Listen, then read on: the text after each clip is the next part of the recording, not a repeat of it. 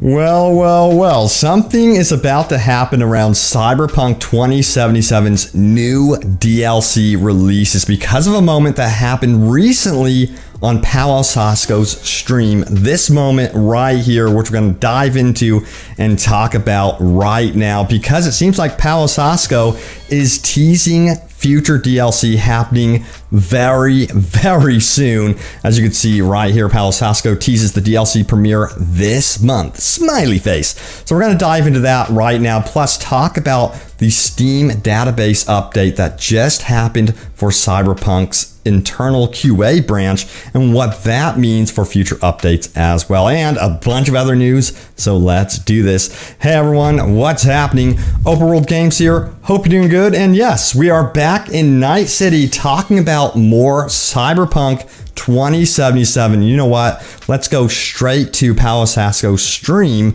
and see what he had to tease right now. Let's take a listen. Uh, I'm feeling it, it, feels like I'm, I'm just interrogating another guy from Red, so maybe I should ask him about the DLC, right? Hellman. Where am I? What is this place? This is not important. You need to tell me about the DLC. Like, if you blink, the DLC is being released this month. He didn't blink, guys. Oh, he blinked. He blinked. He blinked. Want to talk about your... Having said that, I think that the next stream, actually, I will have a really interesting surprise for you, and I hope that it's really gonna happen uh, because preparing some things takes time. Um, but uh, I'm, I'm, working on something, um, and I, I, hope that the next stream is going to be even uh, more interesting. So, what I want to say. So there it is. It looks like we will be getting some sort of DLC announcement on his next stream, which should be happening within the next six to seven days, because that's when he usually streams. And that would be happening in early August. And of course, I have you guys covered on whatever DLC announcement that would be. Now, interestingly, also, you'll note that the character in that interrogation did blink when he asked, Will we be seeing DLC release for Cyberpunk this month. Honestly, I think that he meant that it would be happening within the next month simply because they haven't even announced uh, the DLC stuff. But yes, the community is definitely talking about this moment in this stream. And we're going to highlight what everyone is saying because you guys have some interesting theories as to what's going on as well. We have Separate Emu who says this right here. He goes on to say, I may play Captain Obvious here, but this month has only five working days left. As it would make sense not to release anything on the end of the week, that would mean that we should have an update in the next few days, including right now, as it is like 8.30 a.m. to 9 a.m. in Poland. So that's interesting. Honestly, again, I I would be very surprised if DLC started releasing in late July. I would expect free DLC at this point with this tease to be releasing starting in August, that's when they would begin releasing the free DLC. Now we have Pablo397 who also has another theory here. Check it out. He says, My theory is that he was supposed to announce it a week ago on the previous stream. He kept emphasizing that it was his 13th stream and that he had some rumors about the DLC. But because of his style of play, he didn't manage to get to that scene and he couldn't use this scenario with an NPC looking like a CD Projekt Red employee.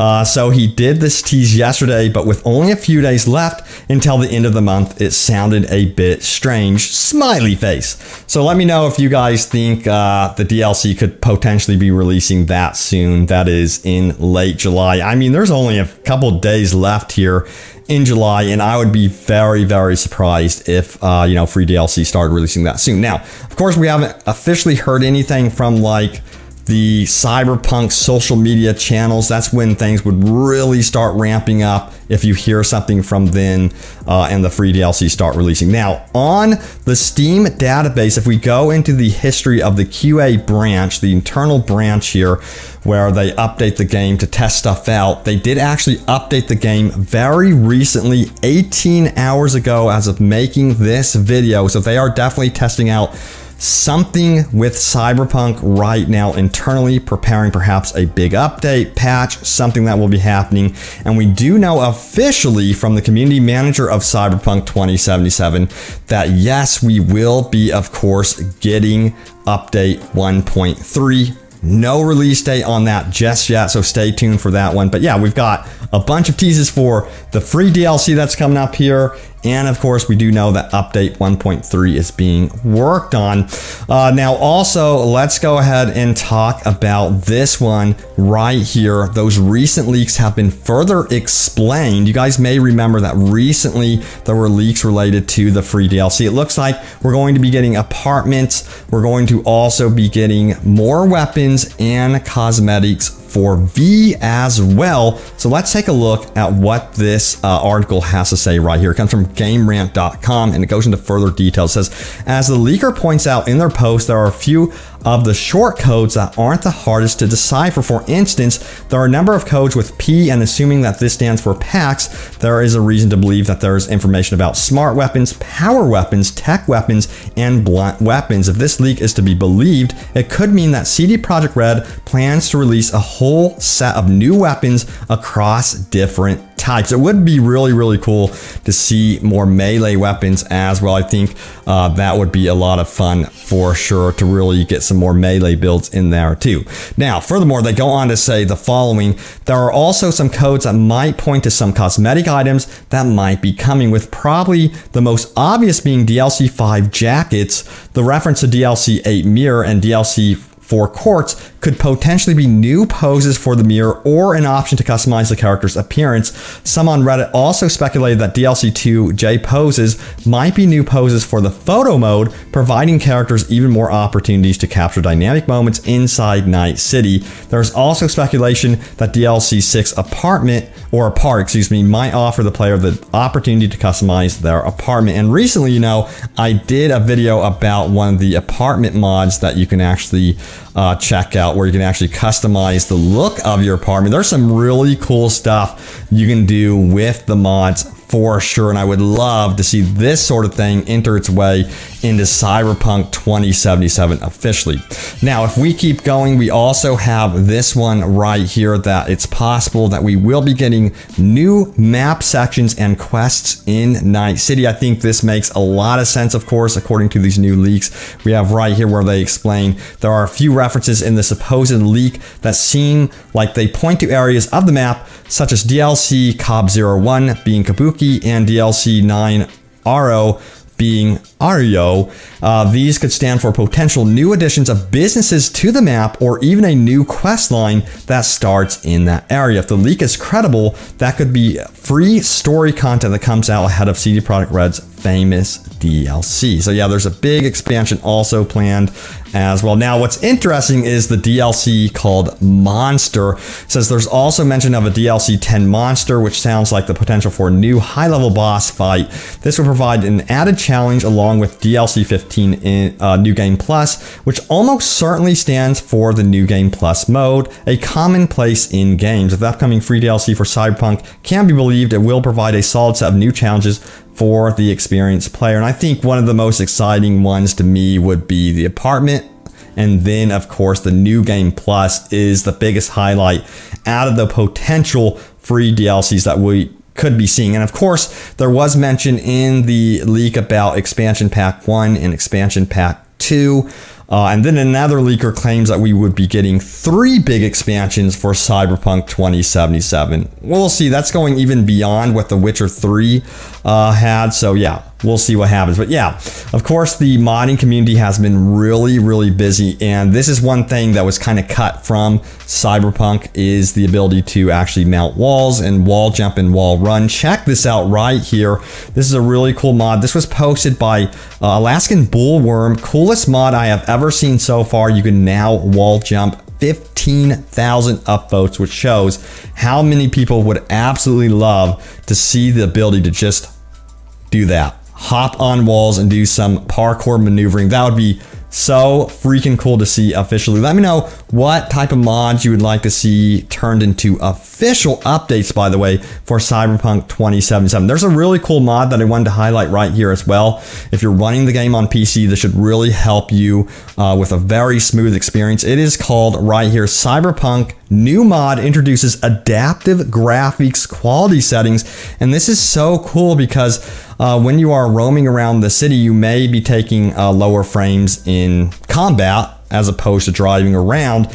Now, this adaptive graphics mod uh, introduces six different graphic presets that switch automatically depending on the game context, allowing players to experience Cyberpunk at its best at all times. The mod also features a tweak menu that allows users to modify other graphical settings like bloom and so on. So yeah, that's really, really cool because honestly, I noticed for me, uh, frame rate problems, particularly when I'm in a car in the middle of the city. For some reason, that city really bogs down my frame rate, and this is going to definitely help you improve, uh, of course, that when you are roaming down this through the city. Now, there are additional details about this one. It says automatically switch graphics quality depending on the game context, have a default pre preset with ultra settings for when you're casually exploring Night City, a combat preset for when you need your FPS the most, and the photo mode preset for when you want the game to look as good as possible. So frame rate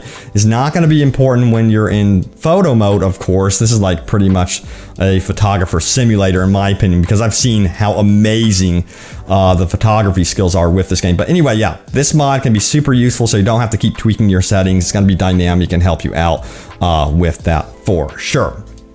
So yeah, uh, now also let's go ahead and go over my most recent video and check out what you guys had to say about that one. So let's do this, shall we? Now remember, your, your uh, comment may end up in a future video, but yeah, my most recent video is as follows right here. Yes, the free DLCs have been playable this entire time. Fans are not happy. So it has been discovered recently that some of these supposed free DLCs are actually in the game. They are unfinished, of course. Uh, but yeah, with the power of mods, you can actually go in there and play them in their unfinished state and take a look at them. There's a couple gigs in there. Now, it wouldn't have been as big of a deal if this game actually turned out to be really, really good on launch day. I don't think people would be as picky about this at all. But because of how the game turned out, you know how it is. now let's see what you guys had to say about this one. Chunky goes on to say this, what is often free proves most costly. Takemura. Very well said. Full Potato Jacket says this, CD Projekt Red corporations are bad. Also CD Projekt Red, let's show you how bad by example. 444 upvotes right there. Cyberflint Flame says this one, at this point, they've dug a hole and the fans aren't throwing a rope to get them out. No, you know what? They're going to have to really showcase some really cool stuff, in my opinion, with these free DLCs, but um, we'll see. You know, they're free DLCs. I would keep your expectations low. As indicated right here, it says, you know, having low expectations works wonders. I'm not surprised or mad at all about this. Hmm. Must be a good way to live life. Alex Cameron says this, they really did not make a single correct decision with this, did they? Question marks.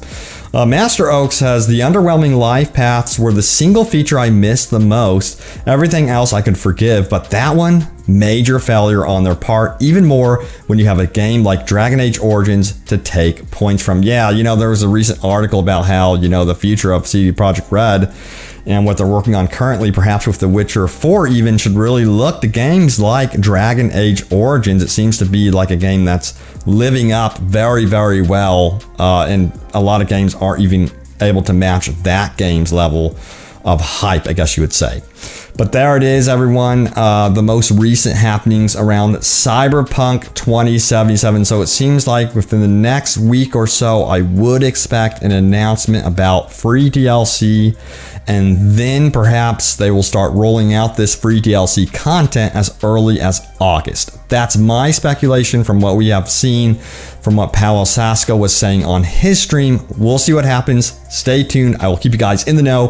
But thank you for watching. Stay tuned for more Cyberpunk 2077 and open world gaming goodness. And I will see you all next time. Take care.